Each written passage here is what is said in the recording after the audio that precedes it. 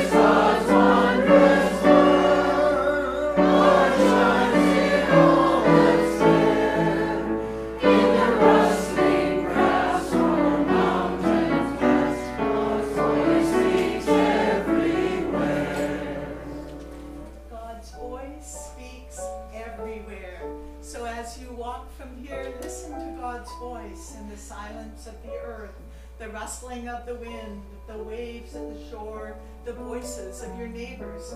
Let us walk on this earth with attention and mindfulness.